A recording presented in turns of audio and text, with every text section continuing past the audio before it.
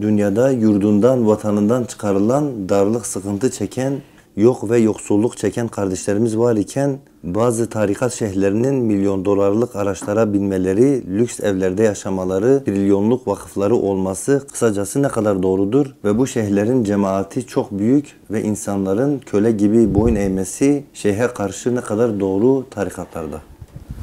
Evet. Şeyhi suçlamak, yeri, suçlamak yerine aklını kullanmayıp yanlış yapanların peşinden gidenlerin neden böyle yaptığını sormak daha doğru olur.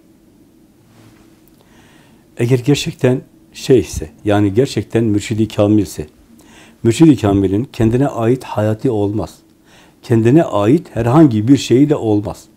Nasıl ki Resulullah Efendimizin kendine ait herhangi bir şey yoksa, evet onu temsil eden, buna beraber Resulullah Efendimizin varisi olan mürşidi kamilin de herhangi bir şeyi olmaz ümmetin hizmetindedir. Kendini bir hizmetçi olarak görür. Hizmetçi gibi görür. Bunun karşılığında bir tek Rabbini ister. Eğer böyle değilse o sahtedir. Bunu anlamayacak bir şey yoktur yani. Eğer biri bunu anlamayıp, daha doğrusu anlamak istemeyip birilerinin peşinden gidiyorsa, neden bunu böyle yapıyor? Onun da bir hesabı var. Allah'a kul olmak ona ağır geliyor. Nefsini teskiye etmek, temizlemek, nefsinden kurtulmak, nefsiyle, yedi başlı ejderhayla savaşıp savaşı kazanmak ona ağır geliyor. Bunu yapamıyor. Ne yapar? İşte ben de oraya tabi olayım, bedavadan kurtulayım. Böyle bir kurtuluş olmaz. Onun için ısrarla ne diyoruz? Allah her bir kulundan Hazreti insan olmasını istiyor kamil insan olmasını istiyor. Kendisine dost olmasını istiyor. Hiç kimse kimseyi kurtaramaz. Evet, mürşidi kamil sirat-i müstakimi gösterir. O yolu ona açar. Beraber o yolda yürürler, onu taşır. Ona iman verir, aşk verir, muhabbet verir. Onu kendi nefsinden kurtarır. Varlığından kurtarır. Eğer biri böyle dünyanın peşinden gidiyor, dünyanın hesabını yapıyor, dünyalığın hesabını yapıyorsa bu durumda onunla beraber olanlar da sadece dünyayı sever. Çünkü kimin gönlünde ne varsa onu verebilir. Bunun dışında bir şey verebilir mi? Ne varsa gönlünde o aksedecek. Onu verecek. Onlarla beraber olanlar da aynı şekilde dünyayı sever dünyadaki mevkii, makamı, saltanatı sever. Övülmeyi sever. Takdir edilmeyi sever. Yarın kıyamet günü bunun hesabını verirler. Hep beraber toptan verirler. Tabi olanlar tabi olduklarına karşı Ya Rabbi bunlar bizi saptırdı dese de onlar da cevap veriyor. Siz zaten delaletteydiniz. Yani siz sirat-i müstakimdeydiniz, biz mi sizi saptırdık? Siz böyle tercih ettiniz. Siz bunu biliyordunuz zaten.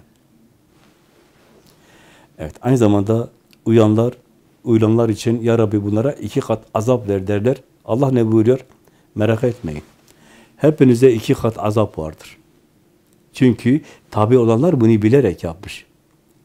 Dünyayı istemiş, mevki istemiş, makam istemiş, ticaretim artsın istemiş. Yetmez, bir de alemlerin Rabbini dinlememiş, peygamberini anlamaya çalışmamış, evet, Allah'ın vahyini anlamaya çalışmamış, kendine göre Allah'ı kandırmaya çalışıyor. Hiçbir şey yapmadan evet, kazanmaya çalışıyor. Bir şey yapmadan derken nefsini tezkiye etmeden, temizlemeden işlerine gelmiş. Ama her biri hesabını verir. Bununla beraber bize düşen başkalarının hesabını görmek değil, kendi hesabımızı görmektir. Onlar yanlış yapıyor, biz ne yapıyoruz? Onların yanlışı bizim defterimize sevap diye yazılmaz. Hiç kimsenin. Sadece, evet ne buyurdu ayet-i kerimede? Herkese kendi elleriyle kazandıkları vardır. Kendi elleriyle yaptıkları vardır. Herkese sayının, koşmasının, koşuşturmasının karşılığı vardır. Evet, her birimize düşen ne yapıyoruz, ne kazanıyoruz ona bakmaktır. Başkalarını da hesaba çekmek değildir. Onların hesabı zaten Allah'a aittir. Allah her şeyi görüyor ve biliyor. Onlar da ayrı bir imtihan. Her şey imtihan çünkü. O da ayrı bir imtihan. Her şeyin hakikisi olduğu gibi bir de sahtesi vardır. Evet, Resulullah Efendimiz geldiğinde de bu böyleydi. Bir de sahte peygamberler türedi. Sahtesi var diye hakkısını terk etmek doğru olur mu? Terk ederse kaybeder. Allah akıl vermiş ki onu ayırt etsin.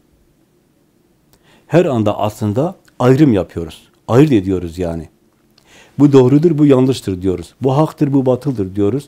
Bu güzeldir, bu çirkindir diyoruz. Bunu yaparsam kazanırım, bunu yapmazsam kaybederim deyip her anda bir ayrım yapıyoruz. Söz konusu ebedi hayatımız olunca, Allah'ın rızası olunca, ahiretimiz olunca, ebediyen kazanmak ya da kaybetmek olunca, Rabbimizi kazanmak ya da kaybetmek olunca nasıl bir ayrım yapmamız gerekir? Nasıl düşünüp tefekkür etmemiz gerekir? Bu ayrımı yaparken mutlaka aklımızın vahyin ışığında görmesi gerekir. Yoksa işte herkes böyle söylüyor, bu böyledir. Ne burada ayet-i kerimede? İnsanların çoğuna uyarsan evet, deralete düşersin. Yoldan çıkarsın. Çoğunluğa değil. Aklımızı Allah'ın vahyinin ışığında kullanmamız gerekir. Buna beraber örnek olarak da Resulullah Efendimiz'e bakıp öyle hüküm verip karar vermemiz gerekir. İnşallah böyle yaparsak yanılmayız. Söyledim, her şey bir imtihan, herkes imtihandadır. İnsanlar birbiriyle imtihandadır. Bize düşen başkalarının imtihanına değil, kendi imtihanımıza bakıp kazanmaya çalışmaktır.